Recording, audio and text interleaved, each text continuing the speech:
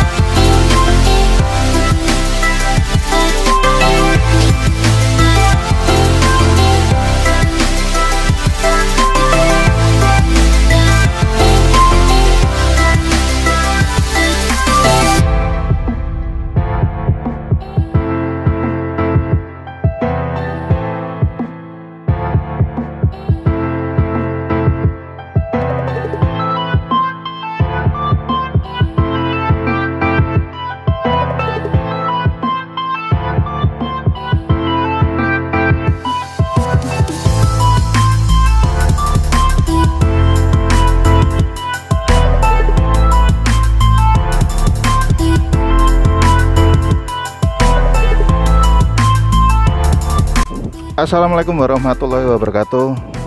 Kita hari ini akan jalan-jalan dulu ke beberapa titik Yang di mana aja tujuannya.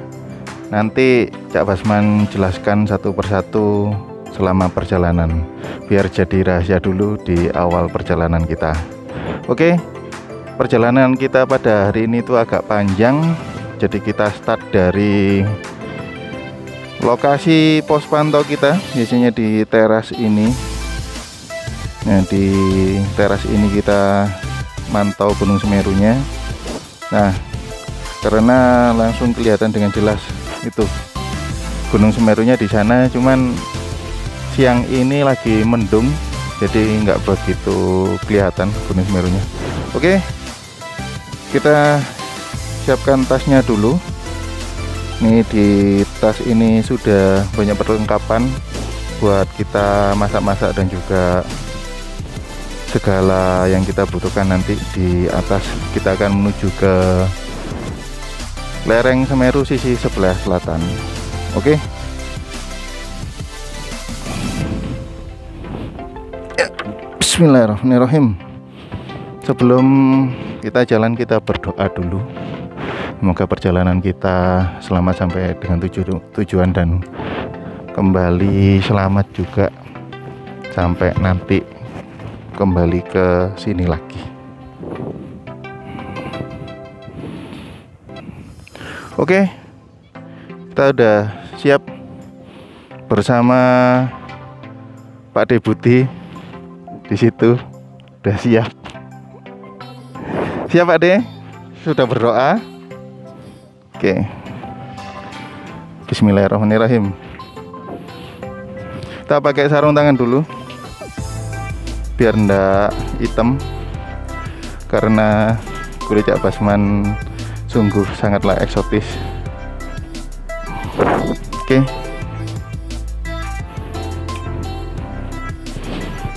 Ah, Bismillahirrahmanirrahim.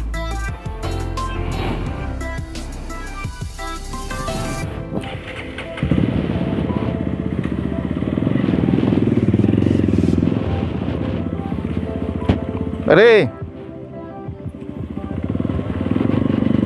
Nah, jadi ini areal persawahan Ororombo.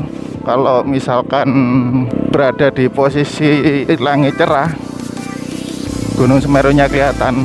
Ini dari sini Gunung Semerunya itu kelihatan dengan jelas banget. gede banget di sepanjang perjalanan ini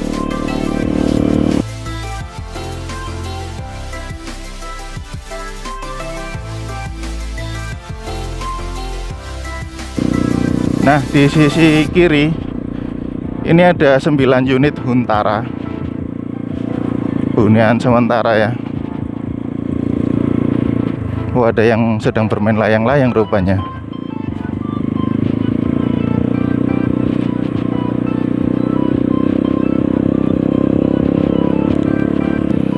Jadi jalannya memang rusak seperti ini. Cor yang sudah lama jadi perlu berhati-hati saat melintas. Itu ada papan peringatan kawasan rawan bencana Gunung Semeru.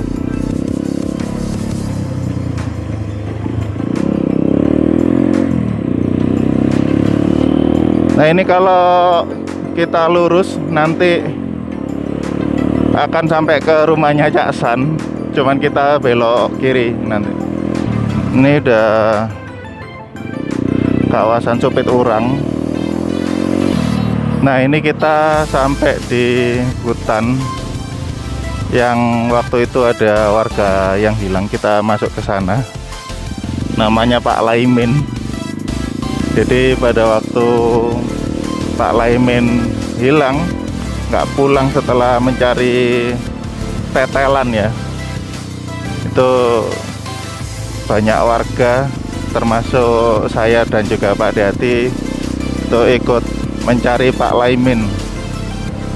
Dan Alhamdulillah ketemu. Ini jalannya sudah sangat halus karena baru diaspal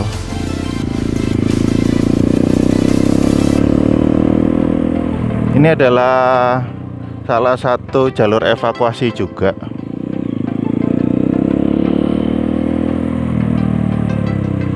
Sewu Pak. Sehingga untuk jalur evakuasi jalannya memang diperbaiki. Sedemikian rupa agar pada saat terjadi bencana untuk evakuasi serta transportasi warga itu sangat mudah. Jadi sepanjang perjalanan di sisi kanan kiri itu kita akan menikmati lahan-lahan pertanian milik warga dari padi, cabai, tomat, jagung dan banyak titik-titik lokasi hunian sementara di sini. Oke, kita mengarah ke sumber urip kita lewat jalan pertambangan jalur pertambangan nantinya. Nah ini kalau udah ketemu masjid kita belok kanan.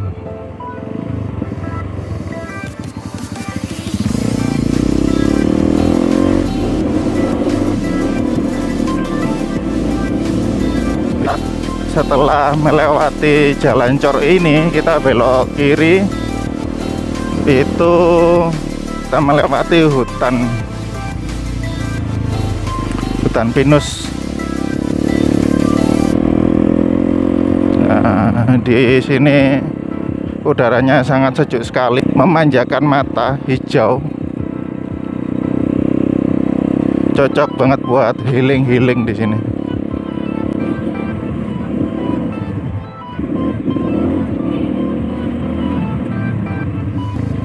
ini kita ambil jalur kanan.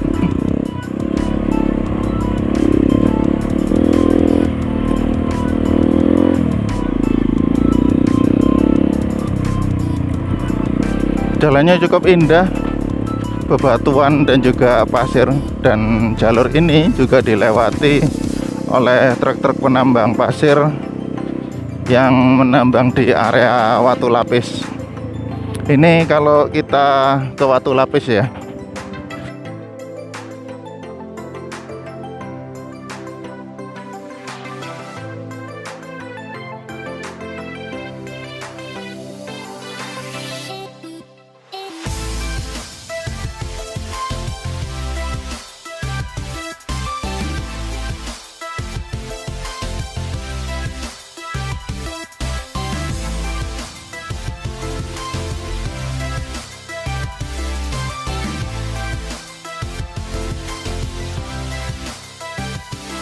tuh kalau kita ke Watu Lapis ada di live kita Watu Lapis seperti apa nanti kita cantumkan linknya di deskripsi ya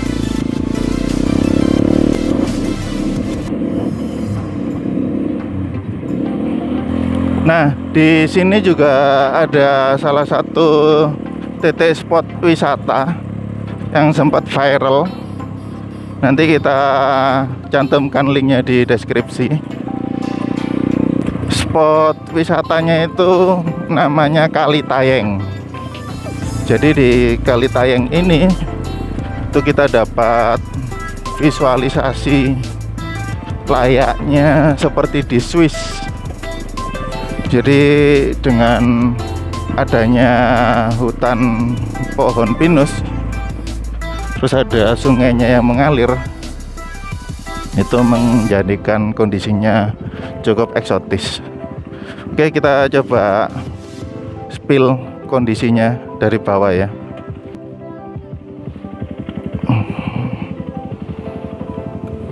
Bisa lewat sini.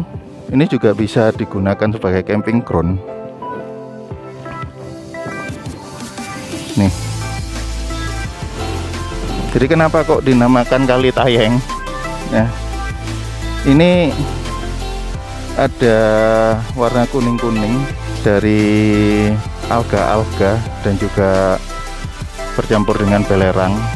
Karena mata air ini tuh bersumber dari Gunung Semeru. Nah tuh. Jadi spotnya itu cukup eksotis. Jadi biasanya spot fotonya itu duduk-duduk di bebatuan situ. Oke. Jadi camping groundnya di sana spotnya di sini air juga mengalir jernih. Oke ini titik tujuan kita yang pertama. Kita lanjut ke tujuan kita yang kedua. Yuk kalau ingin tahu lokasinya seperti apa nanti klik di linknya ya. Kita cantumkan di deskripsi.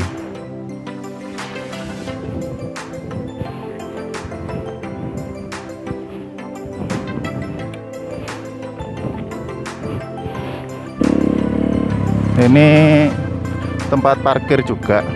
Jadi biasanya kalau ada yang camping di sini itu bisa parkir di situ atau bisa minta temenin warga juga bisa. Ini belok kiri ya.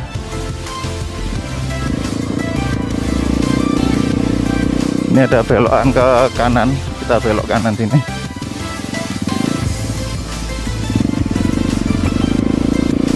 Ini tujuan kita yang kedua. Sarkawi sadar kawasan wisata.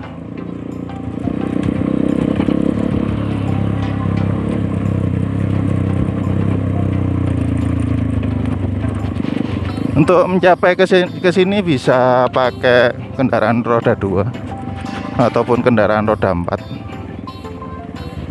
nah kita parkirnya bisa di sini